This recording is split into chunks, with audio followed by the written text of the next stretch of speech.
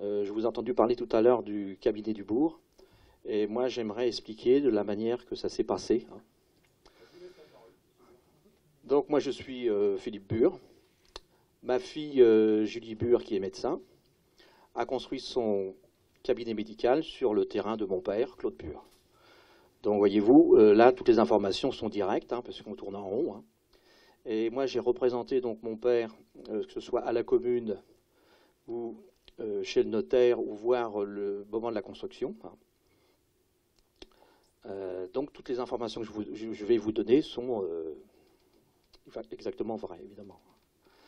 Donc, euh, il y a en gros 5 ans de ça, hein, il y avait eu à la commune euh, d'organiser ce qu'on appelle un, comment je veux dire, un, atelier, hein, qui avait été organisé par euh, Jean-Louis Rousselin. C'est-à-dire que les gens qui sont venus à cet atelier hein, euh, pouvaient mettre des maisons ou des, euh, immeubles sur des terrains. hein. Alors sur des terrains que la commune n'avait pas. hein. C'était des terrains. euh, donc en fin de compte, c'était un- comme un Monopoly, sauf qu'on fonctionnait à l'envers, parce que normalement quand on joue au Monopoly, avant de mettre des maisons et des immeubles, eh ben, on achète le terrain.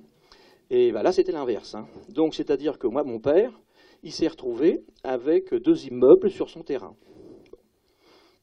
Il est évident que je n'ai pas voulu lui en parler. hein. Mais bon, euh, la commune est petite, hein, il l'a su. hein. Je vous dis pas qu'il est monté en flèche. hein, euh, il a fallu ranger les fusils, parce que ça allait pas du tout. Il a vu qu'on allait y son terrain, et donc là, il n'était pas content du tout. Sur ce, j'ai été appelé à la commune.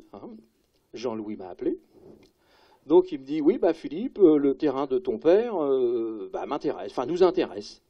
Bah, j'ai dit, oui, mais moi, mon père, il vit dessus. hein.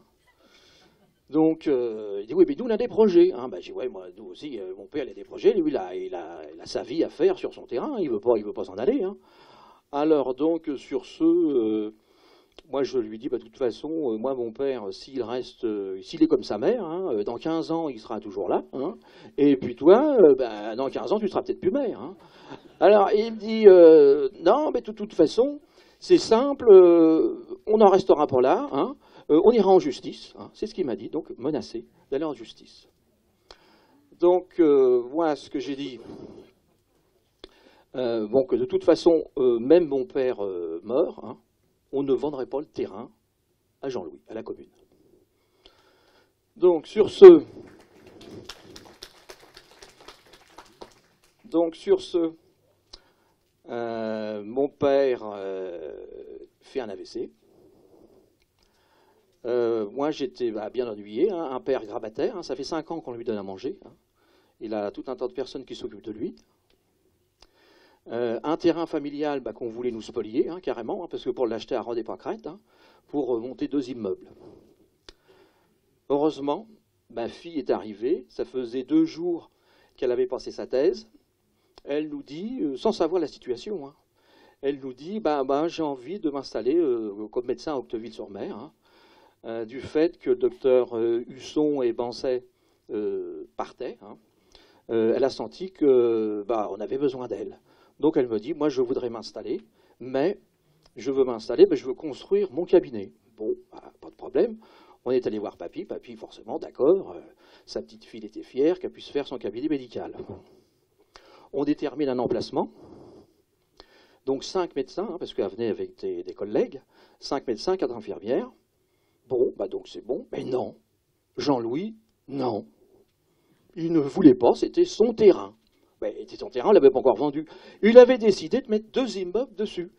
Et donc, nous, on ne pouvait pas construire, c'était un terrain familial, on ne pouvait pas faire ce qu'on voulait. Il s'est empressé d'acheter l'ancien cabinet euh, Hamar, des, des pour pouvoir euh, dire bah, j'ai fait quelque chose. Je ne sais même pas si d'ailleurs le conseil municipal était au courant, parce que ça a tellement été vite hein, qu'il a acheté tout. hein. Donc, bref, ça avait été voté.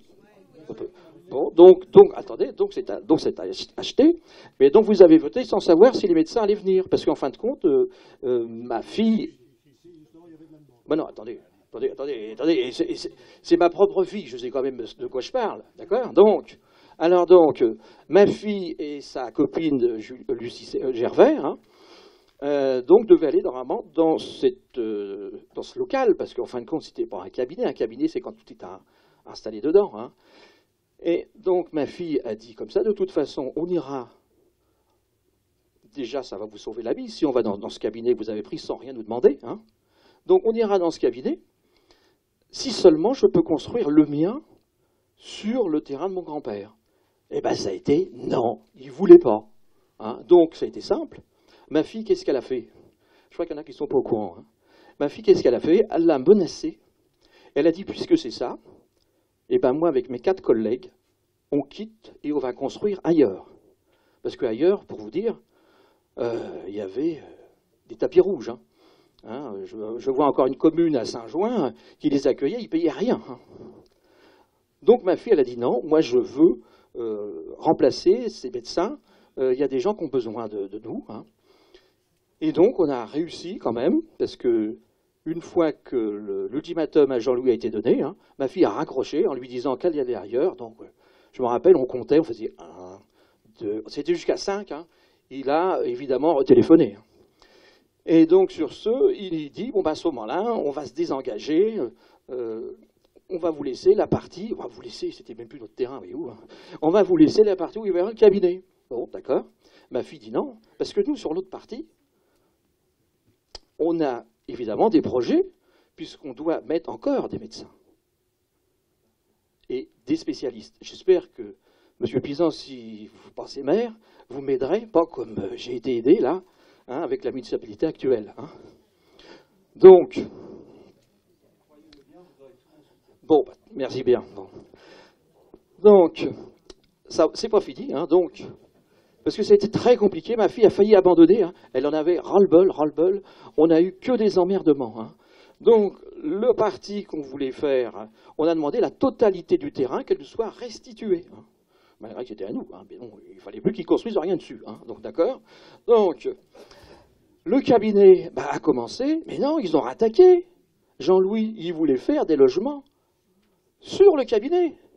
Alors j'ai dit pourquoi pour mettre un funérarium en sous-sol pendant ce temps-là? Non mais c'était, du n'importe quoi. Bon, on est arrivé difficilement à faire notre cabinet. Alors voyez-vous, cinq médecins qui sont arrivés à Octeville, c'est pas Jean-Louis à l'entendre, c'est clac, hop, cinq médecins, c'était bon, on les a. Non, non, non, rien. Aucune subvention, ils ont été de rien.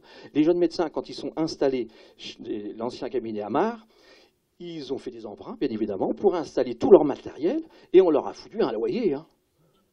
C'est pas comme dans d'autres communes où, normalement, les jeunes médecins, on les aidait. On les a pas aidés, on les a emmerdés. Hein. Ma fille, elle s'est battue pour faire son cabinet. Hein.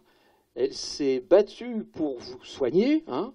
Et je veux dire que maintenant, bon, euh, je vois quand même des gens. Moi, je vais tous les jours chez mon père, parce que je m'en occupe je vois quand même des gens du conseil municipal, ils vont se faire soigner quand même hein, euh, au cabinet, hein, même s'ils étaient contre, hein, je ne sais pas, hein. mais ils y vont quand même. Donc ce que je veux dire par là, bah, un cabinet médical comme celui de ma fille, c'est 5000 patients en gros. Et en gros, il y a 2000, euh, il y a 2000, il y a 2000 octovillaires. Bah, J'espère que ces 2000 octovillaires qui vont au cabinet du bourg dimanche, bah, ils y penseront à tout ça.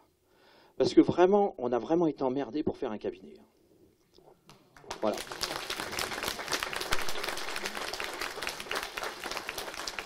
Bon, je vous remercie, Monsieur Pisan, de m'avoir laissé parler parce que c'était pas prévu et vous ne saviez pas du tout ce que j'allais dire, mais bon, ça va dans votre sens. Hein.